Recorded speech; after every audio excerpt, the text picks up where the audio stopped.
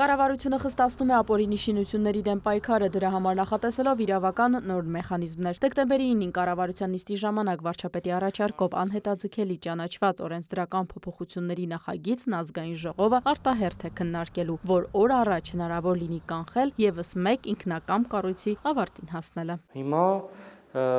օրենսդրությունը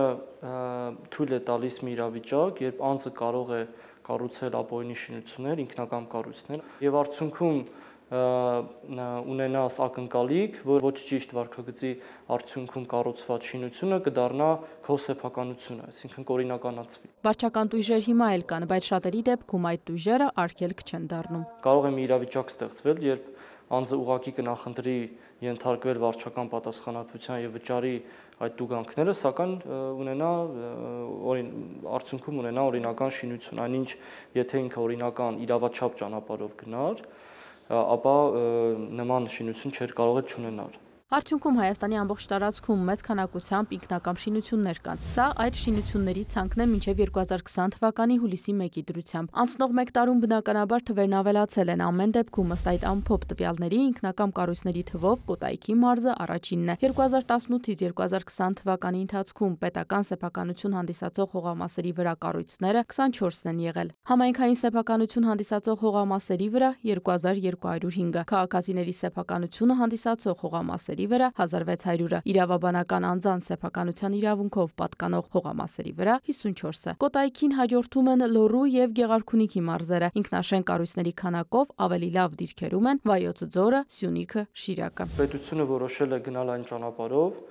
եւ դրա մասին շատ է խոսվել, որ քաշվի մի գիծ, որից այն կողմ այլևս նման իրավիճակներ չեն կարող լինել։ Այդ գիծը կքաշվի ազգային ժողովի կողմից օրենքը ընդունելուց 10 նոր հետո, իսկ մինչ այդ ընթացիկ տարում առաջին անգամ Հայաստանի ողջ տարածքը կունենա օրթոֆոտո հատակագիծ։ Օրթոֆոտո հատակագծերի միջոցով կարելի է օրինակ ճշգրտել կադաստրային քարտեզներ, կամ ցանկացած այլ քարտեզագրական տվյալներ հայտնաբերել ինքնակամ կառույցները։ Մենք ունենք համակարգ, որտեղ մուտքագրված են քարտեզագրական տվյալները։ 2014 թվականին ամբողջ Հայաստանի տարածքը չի ընդգրկել։ Այս սխեմայով երևում է, որ տարածքներն է օրտոֆոտո հատակագծերն են արկա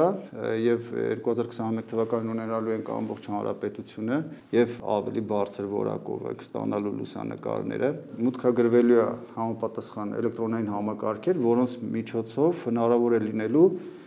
համեմատելու քարտեզագրական նյութերի հետ եւ որոշելու տարբերությունները քարտեզագրական նյութերում արկա տվյալների հետ։ Այնպես որ որպեսզի պետական մարմինները կադաստրի կոմիտեն վստահ լինեն, որ այդ շինությունը կառուցել են մինչև օրենքի ուժի մեջ մտնելը, պետք է ունենաք ապացույցներ։ Դա հենց հաշվառումն է, որ ձեր շինության չափագրումները հայտնվեն այս համակարգում, համեմատվելով մշակված տվյալների հետ։ Օրինակ,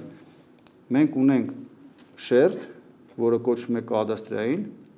որտեղ արտահայտված են գրանցված եւ հաշվառված հողամասերը եւ շինությունները եւ անգամ վիզուալ կարելի է հայտնաբերել տարբերություններ օրտոֆոտո հատակագծերի հետ համեմատելով կարելի է տարբերությունները տեսնել եւ իհարկե կիրառելով որոշակի ծրագրային ապահովում, որ կարողանանք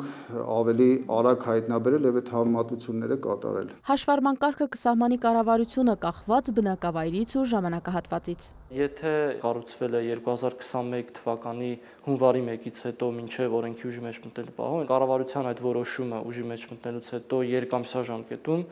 պետք է անձինք բերեն հաշվառման։ Եթե կառուցվել է շենքը մինչև 2021 թվականի հունվարի 1-ը եւ կառուցվել է Երևան քաղաքում,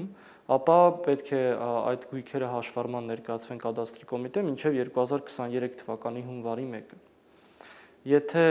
կառուցվել է կրկին մինչև 2021 թվականի հունվարի 1-ը, բայց քաղաքային բնակավայրերում, ապա հաշվառման է ներկայացում մինչև 2024 թվականի հունվարի 1-ը,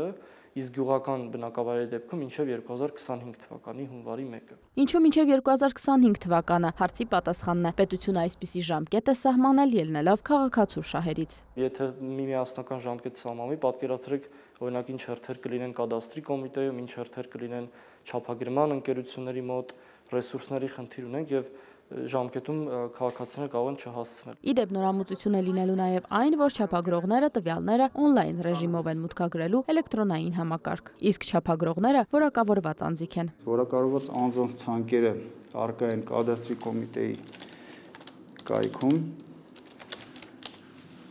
Մենք ունենք մեր կայքում որակավորում բաժին, որտեղ մենք տեսնում ենք որակավորված մասնագետներին։ Իդեպ օրենքը տարածվելու է կիսակառույցների վրա եւս։ Դա նշանակում է, որ կիսակառույցի շինարարությունը շարունակել արգելվում է արդեն կառուցված հատվածը, սակայն հնարավոր կլինի օրինականացնել։ Եթե ամեն դեպքում լինեն օրինախախտներ, փոփոխված օրենքը միայն վարչական տույժով չի սահմանափակվում։ Այն ենթակա է լինելու քանդման կառավարության սահմանած կարգով ես ենթարկվելու եմ վարչական եւ նույնիսկ կարող եմ ենթարկվել քրեական պատասխանատվության եւ այդ գույքը չի օրինականացվելու։ Մինչ ազգային ժողովն արտահերտ քննարկմամբ կընդունի անհետաձգելի ճանաչված օրենսդրական փոփոխությունները 2021 թվականի տվյալներով օրթոֆոտո հատակագիծն էլ ամբողջական պատրաստ կլինի։ Այս պահին դեռ մշակման փուլում է։ Իրինա Մկրչյան, Աշոտ Խաչատրյան, լուրեր։